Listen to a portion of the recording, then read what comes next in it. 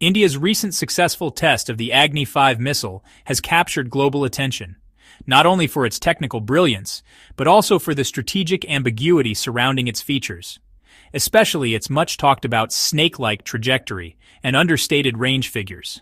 Agni 5 is India's most advanced long-range ballistic missile, developed by DRDO, Defense Research and Development Organization.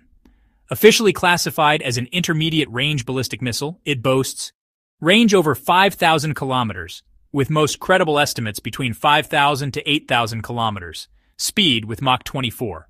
Payload can carry nuclear warheads, potentially 1,500 kilograms, and supports multiple independently targetable reentry vehicles.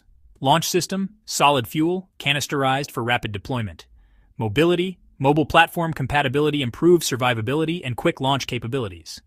In standard missile tests, ballistic missiles follow a predictable parabolic arc dictated by gravity and propulsion. During the 2025 test, observers noted a distinctive zigzag or snake-like pattern in Agni 5's flight.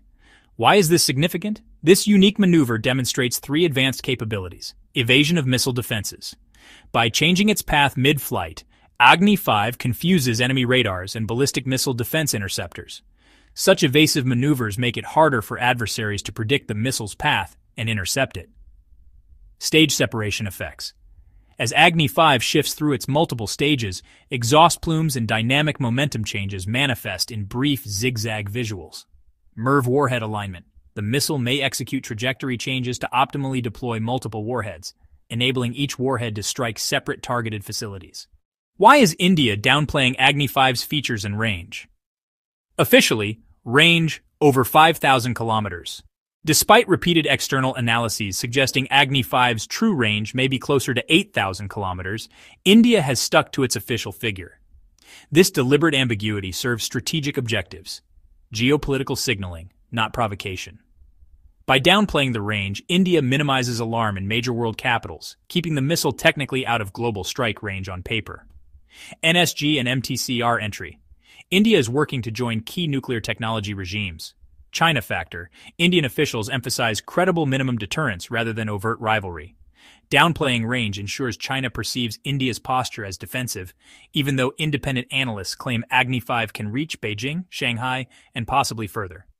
Strategic ambiguity, maintaining secrecy over maximum range and precise capabilities, ensures adversaries cannot calculate India's retaliatory potential, strengthening deterrence while avoiding Western scrutiny and potential restrictions. What does this mean for India and the world? India's demonstrated restraint in presenting Agni 5 as strictly an IRBM reinforces its commitment to no first use and minimum credible deterrence. For India, solidifies its place among the world's missile powers, enhancing deterrence. For the region, raises the bar in South Asian security. For global stability, India's responsible behavior, avoiding inflated claims or destabilizing declarations, is broadly welcomed. Thank you for watching. If you like the video, hit the like button and subscribe, and I will see you in the next video.